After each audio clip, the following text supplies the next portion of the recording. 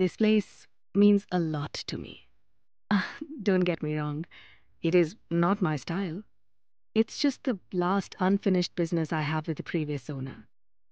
You see, I wanted to buy this lot about 20 years ago. I even made the advance payment. Then this infamous gangster shows up and blackmails me to give it up. Can you imagine? Eventually, with joint efforts of the Bureau and the police, we gathered enough evidence to press charges. And then he fled. Only recently I'd finally been informed of his arrest.